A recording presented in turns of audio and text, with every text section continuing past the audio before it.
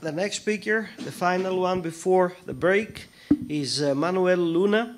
The title of the presentation is uh, Toward a Technique for Automatic Detection and Characterization of Oscillations in Solar Filaments. So I'm going to give you a five minute warning. Okay? Hello, good morning. Uh, this is Manuel Luna from the Balearic Islands University in, in Mallorca, Spain.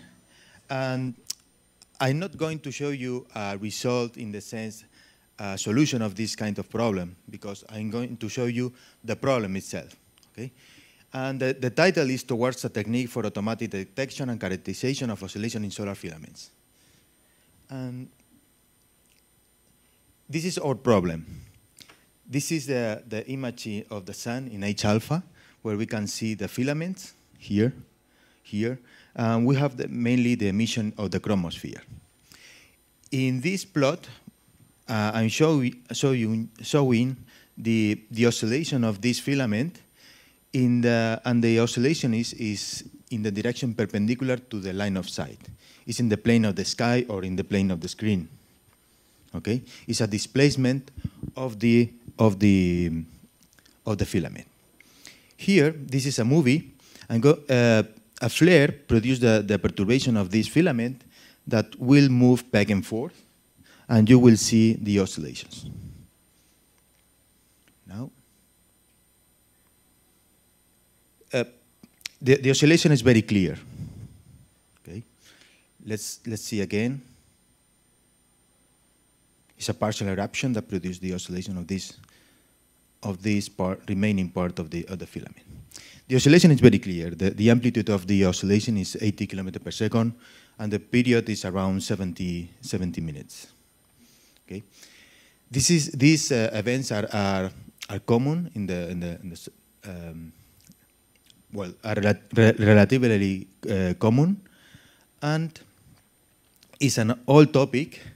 Uh, the first observation were, were, in the in the beginning of the 20th century, and the relevance of this oscillation is that with the prominence seismology, that is the combination of uh, modeling and the observations, we can infer parameters that are uh, hard to measure by direct uh, means. Uh, so far, the detection have been um, done by visual inspection of the data.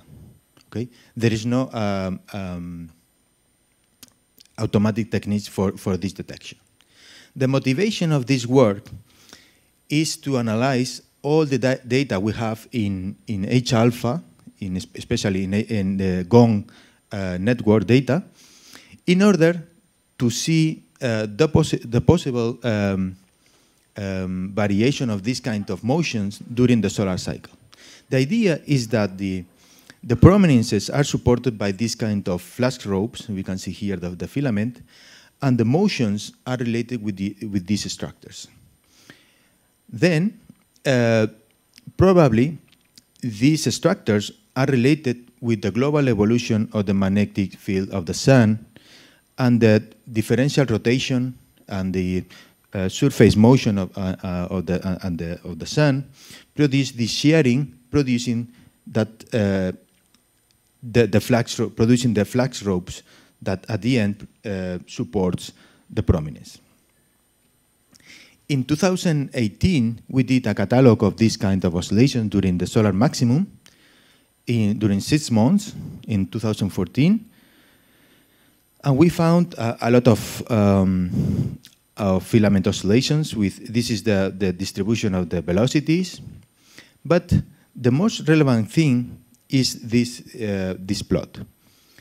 Here, we have the number of events as a function of the period. And we see that we have a strong peak, uh, uh a, a large peak in, in 60 minutes. Why these 60 minutes? We wonder if this uh, period, the, this kind of average period, changed during the solar cycle. Then the idea is to analyze the, the, all the data sets we have in, in GONG, that is more than 10 years, and we have images for every minute, and try to see, to detect oscillation and also parameterize these oscillations.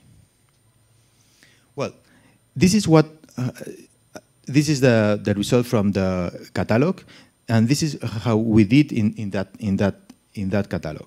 We have the filament here, a flare is happening is, is, is here, that produces the displacement of the cool plasma that moves back and forth. Following the motion of the, of the cool plasma, we, can, uh, we produce this artificial slit, and we take the intensity along this slit, and we put here the intensity as a function of time. This dark band is essentially uh, the cut of the of the slit with the with the cool plasma, and we can see perfectly well the oscillation. This is the time distant diagram, okay, or time distant technique. We have here the displacements and also the, the velocities. Okay? But this is a, a very limited uh, method because we did by eye, checking all the data. And also, we want to expand this uh, catalog of only six months to a larger dat data set and also um, without any bias associated to the, to the observer. And we tested uh, the filament tracking is, is, something similar to segmentation, but it's uh, with, without machine learning. But we found that the, that the oscillations, or we, we track the, so the centroid of the filament or some characteristics of the filament, is very noisy. It is hard to follow. The second uh, technique we tested is the spectral analysis. In this, in this uh, figure, we see um, an active region, and it seems that the intensity fluctuates in, in this region. You can see the, the intensity fluctuates in this region. This is uh, from um, EUV images, it's not GONG, okay? But is, it is an, an example from Frédéric Auchère. Um, they detected a positive detection because the, the power spectral density the, from the Fourier transform is larger than some threshold. Then they have positive detection here. But we have a problem. We have advection of the cool plasma. It's just moving back and forth, and we don't have uh, intensity fluctuations of the cool plasma. It's just a displacement of the plasma. Okay? And then, but we applied the technique, and I'm going to show you uh, how we did. Uh, is uh, sorry for, for the letters. Is uh, the, I don't know what happens. Um, we published in, in the, the past year uh, this paper where we apply this technique, spectral technique. How we did it, or what, what happened, why we can apply this technique. The idea is that plasma is mostly advected. We don't have intensity fluctuations. However, there is no intrinsic fluctuation of the intensity. This is a mimicking of the oscillation. We have the chromosphere here in white, and the black represents the filament. Okay? Then we are going to measure the intensity here in this uh, red dot. Okay? We see the motion, and this is the intensity. It's moving from 1, that is the chromospheric, to 0,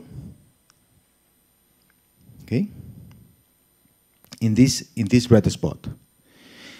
Around, it seems that around the, the filament there is a periodic um, fluctuations of the intensity because the filament produce uh, periodic uh, occultations of the chromosphere. It is also happening here and in the other side. This is a, a, a um, an oscillation is uh, 45 degrees in this direction. The period is 60 minutes, and it has a damping time. You can see that it's not trivial. It's not a periodic. It, seem, it seems not a periodic uh, fluctuations. Okay, in this case, this is good. Um, this is the problem. Is the half of the period because it's at the center. It crosses two times during one cycle. But okay, we have we found a very good uh, results. If this is uh, the motion of the, of the cool plasma, this is the streams of the, the motion, we have, we, we, if we apply uh, the fast Fourier transform for every single pixel, and we uh, make the, the square of this power spectral, uh, we have the, this power spectral density, there is a strong emission around the filament okay, of the power spectral density with the same period of the oscillations. Okay? And this is uh, what we found in this uh, mimicking of the oscillation. Then we apply uh, this technique to the GONG data, and we contrasted, we compare with the with the results of the of the of the catalog. We use the GONG data because it is H alpha and it's very clear to see the filament and the chromosphere. And the GONG is composed of six uh, telescopes around the globe, and then we can uh, have a more or less continuous uh, observation of the sun during the day and all year. Okay? And this is, we apply this technique. Then we analyze the, the power spectral density of every single pixel. Okay? Uh, using the fast Fourier transform, and we model the noise, the background noise level, as a thin function, as uh, is a combination of red noise plus white, white noise. Okay, this is a, a, single pixel, and we can see here uh, the, the, the the power spectral density, and the red one is the the background noise. It's fitted every for every single pixel is fitted, and then we have detection if this power spectral density is larger than m times the, the background noise. Okay, and we use this uh, this expression for the for for m is the number of times larger than the background noise, than the noise. And we have a confidence level of 95%. Okay, this confidence level is this one, is the dot, uh, dot dash line. In this case, we have a very strong peak here, it's just one example. I'm not telling you where is it, it is. It's in this filament here. And we have a very strong peak. Then we apply uh, the technique for the first event of the catalog. The filament is behind. It's a combination of the power spectral density.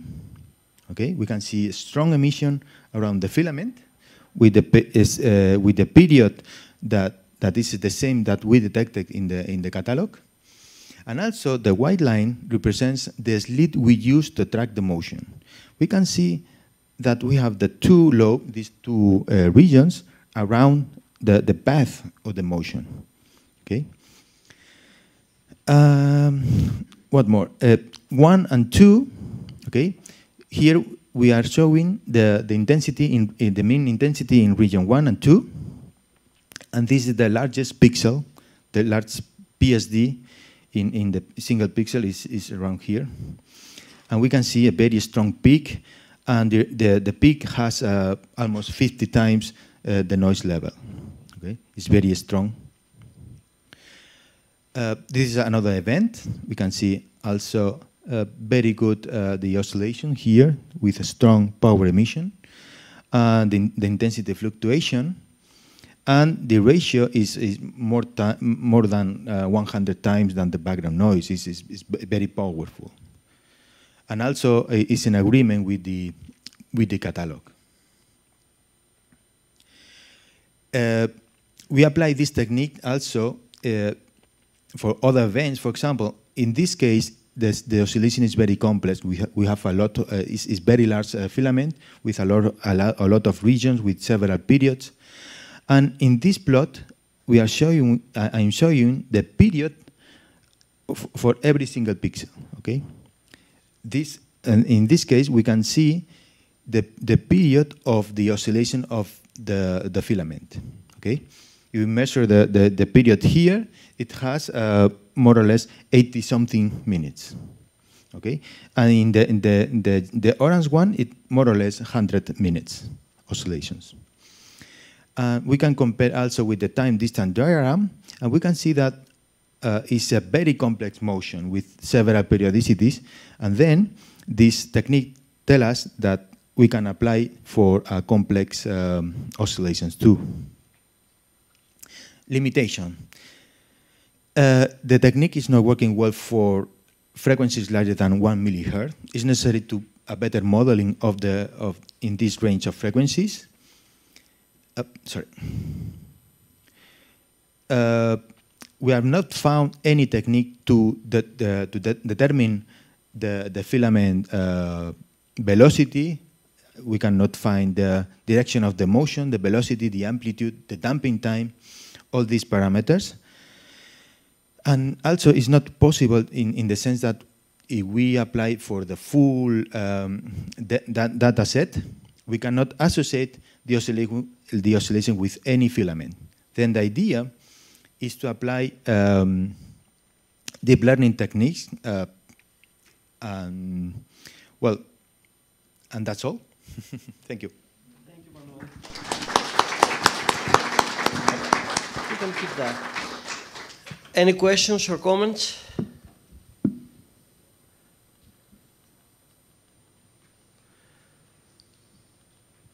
Everybody's eager for coffee? Do we have anything online? Well, let me ask you one question. So you mentioned that at some point the method does not work well, uh, and you gave a frequency cutoff. I think it was one millihertz, right? Mm. So the uh, uh, in terms of physics, why do you think this is not working really? Because because uh, we are um, using a, a, white noise uh, uh, noise here, but probably we have uh, P modes. Okay. Here. So, uh, do you think it would be reasonable to try to do some denoising before trying to identify oscillations? Mm. I mean, there are methods out there. There was one presented in the previous talk, mm. actually, uh, that might be able to spare you from that particular uh, component in there so that to be able to detect oscillations because one would think that oscillations would be, I mean, uh, lower frequency oscillations would be more frequent than, you know, higher frequency ones, hmm. uh, conspicuous ones. So you might be able to link it with more physical processes mm -hmm. in the area of the filament. Yep. Just, just a suggestion. Yeah, okay, thank you. Oh, there's one. One question there.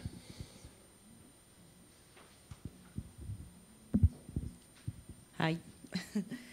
um, when you analyze the intensity of the pixel, do you analyze all the pixels of, of the image of the mm. whole disk? Yes. Uh, do you think would be would improve like the computational time to apply some kind of mask to the images just to keep the regions uh, surrounding like the, the filaments? For example, you know that the filament is dark on the surface. Yes, yes. And then perhaps try to keep that, that area and the surrounding pixels of the, of the filament. True. Yes, yes. Uh, there, there, there, there is a there is technique. Uh, there are techniques to to apply segmentation for filaments, and then maybe we can uh, take a regional surrounding, as you said, and and apply this technique. Yeah, mm -hmm. could be more efficient. Okay. Anything more? I think there is one question online. So, uh, Daniela, could you please unmute and uh, ask the question? Yeah, hello. I have a question. So you mentioned that you have more complex uh, filament filament oscillation in the AIA data. Isn't that simply related to just the different resolution of the data and or the emission line characteristics? So H alpha is very different from UV. So, what's your take on that? Well, it's more complex because, uh, for example, you can see here that uh, it seems that you have uh, different levels of, in the in the in the filament uh, with different direction of the oscillations, and also seems that um, different parts oscillate with different phases. This is the, the complexity. In comparing the EUV and H alpha, you can see more details in, in EUV. Uh, yeah, but isn't that due to the resolution? Because H alpha data, if I remember correctly, are very low, low, low spatial resolution. Yeah. And you're just seeing less structure because the resolution is lower, not because there's missing not not necessarily because the complexity of the motion is lower, I guess. Yes. Uh, well, in in H alpha, uh, the resolution is lower, but uh, the the good thing is that you don't have any other structures uh, in the line of sight. It's more clear to have to detect the the filament and also the, the oscillations. In EUV, you can see more um, structure because you have the the core of the, the threads is, is in absorption, but also you have the PCTR surrounding the, the threads, and you can see a combination of, of, of uh, dark features and, and bright features moving, and then you have more details there. Okay, thank you. Okay. Any further quick question or comment? If not, then let us thank Manuel and uh, all the speakers again. So this concludes session two for this morning.